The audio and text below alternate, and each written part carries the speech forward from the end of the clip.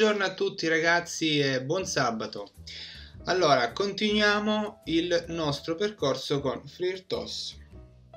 Oggi, come vi accennavo mm, alla fine della scorsa, della scorsa lezione, eh, parleremo di quelle funzioni che ci permettono di andare a, eh, ad eseguire delle operazioni sulle priorità delle azioni una volta che lo scheduler è stato già avviato. Ok, quindi partiamo subito con il codice che già mi, sono, già mi sono portato avanti. Inoltre dopo vi farò vedere una cosa molto interessante che è legata a, a quella questione degli eventi. Non so se vi ricordate, no? Che vi avevo accennato di come un task può essere avviato perché a lui è associato un evento. Ovviamente non ho creato proprio l'evento di FreeRTOS, ma è giusto per farvi più o meno capire. Comunque ne parleremo fra un po'. Allora, quindi partiamo eh, con la prima funzione che andiamo a vedere, eh, le prime due, perché le ho, le ho eh, create entrambe, la VTask Priority Set. E che cosa fa la VTask Priority Set? In pratica la si va a utilizzare per cambiare la priorità di un task una volta che lo scheduler è stato avviato. Quindi se noi torniamo qui sul nostro fantastico manuale troviamo vtask eh, priorities eccola, eccola qui e poi abbiamo anche la, UTA, la UX task priority get in questo primo esempio utilizzeremo sia questa che questa. Allora iniziamo intanto con questa, eccola qui. Innanzitutto non, non restituisce nulla. In ingresso vuole l'handle, perché vi ricordate che vi avevo già accennato ad un esempio del genere per spiegarvi co a cosa serviva l'handler. E poi vuole un nuovo valore della priorità che è di questo tipo ubase type underscore t. Benissimo. Poi l'altra funzione invece che è la ux task priority get che già è intuibile dal nome in pratica richiamandola lei ci restituisce la priorità del task che noi inseriamo qui. Perché questa vuole solamente l'handler del task. Ovviamente se la utilizziamo eh, in un task e noi vogliamo sapere eh, la priorità del task stesso dove essa viene chiamata basta metterci null benissimo. Quindi andiamo a vedere un po' che cosa ho fatto qui. Ho dichiarato i due handle poi vabbè la, la solita seriale questo qui lo vedremo dopo. Ho creato i due task eh, task 1 e task 2 al task 1 ho dato priorità 1 al task 2 ho dato priorità 2 queste sono le due funzioni. La prima eccola qui. E che cosa vado a fare in pratica qui? Stampo una scritta sul seriale. Poi dopo mi vado a, a salvare in queste due variabili il valore attuale quindi in questo punto eh, del, eh, sia del task 1 e quindi infatti ho, ho messo null perché lo sto richiamando all'interno dello stesso invece mi vado a salvare in quest'altra variabile la priorità attuale del task 2 ed essendo che sono nel task 1 devo metterci il suo handler. Benissimo me, me le vado a stampare. Aspettate che questo adesso non serve. Me le vado a stampare benissimo. E qui vado a impostare un nuovo valore della priorità del task 2 attraverso la priorità del task 1 adesso che lo uh, eseguiamo sarà tutto più chiaro. Stessa cosa vado a fare qui solamente che qui decremento il valore della priorità del task 2 infatti vedete che l'handler essendo che io voglio cambiare quella dello stesso task ci metto null. Ok salviamo spostiamo questo qui e andiamo a vedere che cosa esce fuori. Carichiamo ripuliamo. Ah, aspetta perché forse ci ho, ecco, ci ho lasciato sì scusate che prima stavo facendo la, il test di quell'altra funzionalità che volevo farvi vedere dopo. Ok ecco allora andiamo ad analizzare quello che accade dalla linea 1 all'inizio quindi essendo che il task 2 ha priorità 2 verrà eseguito per primo giustamente. Quindi andiamo nel task 2 salverò queste due variabili e mi verranno stampate qui. Quindi noi sappiamo che all'inizio il task 2 ha priorità 2 ed eccola qui. Task 1 ha priorità 1 benissimo. Poi scendendo sotto che cosa accade? Che decrementiamo di 2 la priorità del task 2 quindi 2 meno 2 fa 0 quindi adesso lo scheduler che cosa vedrà? Vedrà il task 2 con priorità 0 e il task 1 con priorità 1. Quindi sceglierà di far eseguire il task 1.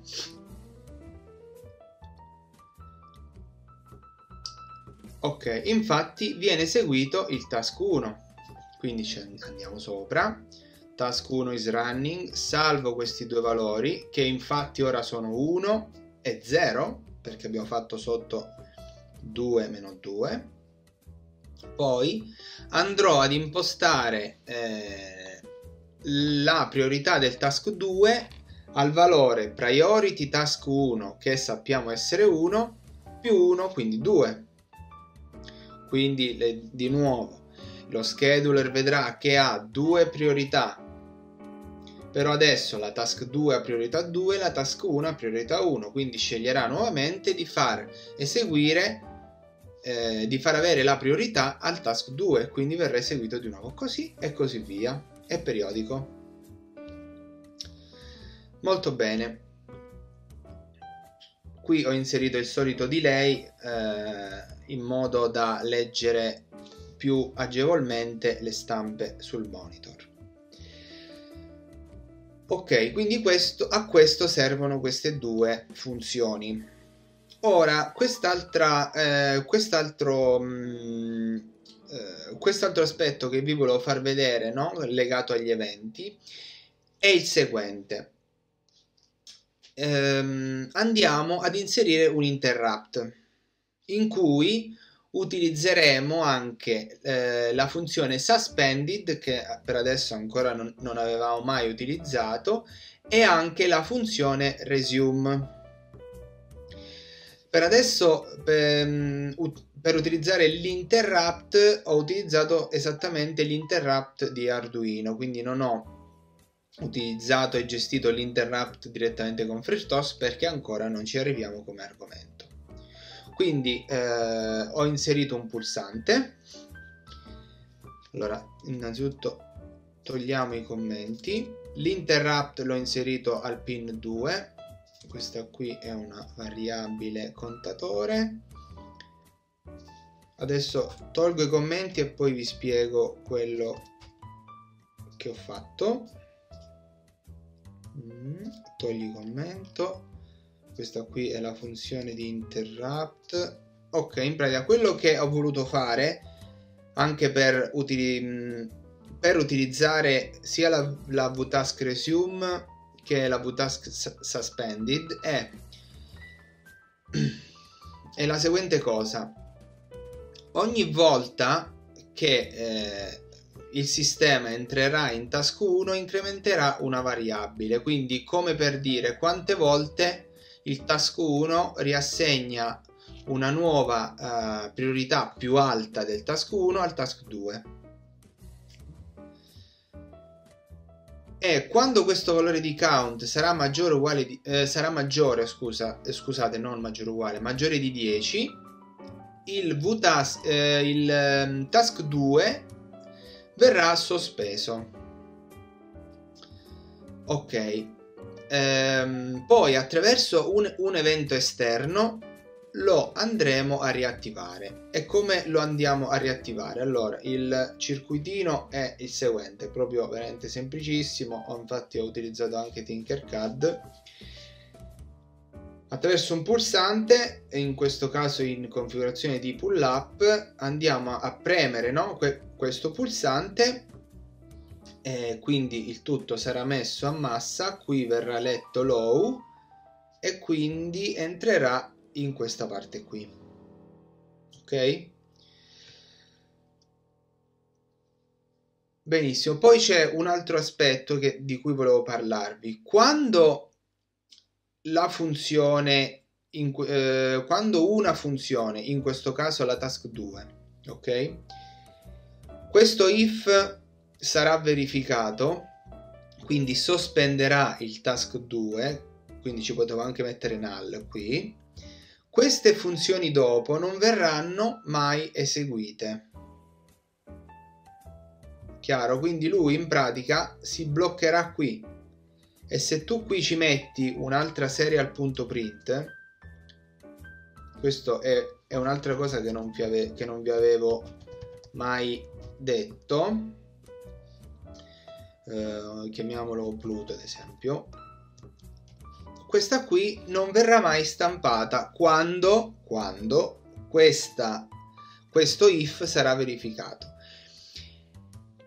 E perché è importante? Perché praticamente le prime volte che io eh, mi sono approcciato al, a FreeRTOS ho detto vabbè, questa sarà verificata, però comunque sia tutto verrà eseguito. Poi appena tutto è stato eseguito, questa verrà realmente poi eh, portata a compimento. Invece no, invece no. Perché quando fai suspended, lui verrà sospeso. Quindi quando tu lo riesumerai, partirà esattamente da qui. Ok? Comunque adesso lo vediamo. Um, ok, andiamo a caricare.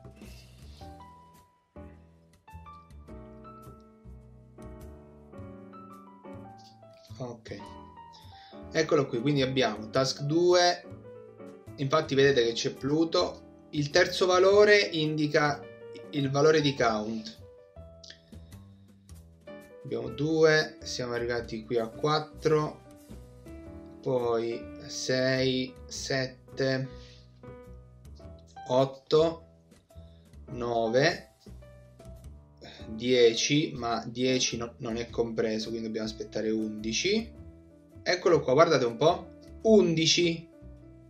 Quindi ehm, il task 1 genererà l'11, poi verrà eseguito questo, vedrà che è maggiore e, e vedete che Pluto non verrà più eseguito?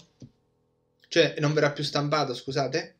Pluto non viene stampato e verrà eseguito solo il task 1 perché lo abbiamo sospeso. Vedete? Ora, mettendo lo scorrimento automatico, premerò il pulsante.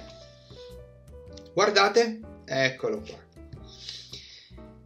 Che cosa, che cosa, vi ho detto prima? Che quando dopo voi lo riesumerete, lui partirà esattamente da dove è stato sospeso. Quindi lui è stato sospeso qui e da qua ripartirà. Infatti guardate Pluto. esattamente questo. E dopo verrà di nuovo fatto tutto. Task 1 task 2 task 1 task 2 fino a quando si riarriva a questo punto qui che è lo stesso di prima. Rifacciamo di nuovo la prova. Ok spingiamo Pluto di nuovo. Task 1 task 2 task 1 task 2 questo secondo me l'aggiunta di ultimo di questa ultima chicca, diciamo, credo sia molto importante perché vi, vi fa capire un po' che cosa intendevo con eventi. Certo, forse la parola ehm, si descrive da sola, eh? però credo che avere poi un riscontro pratico, riproviamo di nuovo, un riscontro pratico è sempre molto importante. Quindi ecco, per oggi, anzi per questo, per, per, oggi è tutto, dai, per oggi è tutto. Um, essendo che ieri non sono, sono, riuscito a fare il video, lo sto facendo solo ora, credo che oggi registrerò due video. Credo. In ogni caso, grazie. Eh, spero che il video vi sia piaciuto. Se sì, lasciate un bel like ed iscrivetevi. E alla prossima. Ciao ragazzi!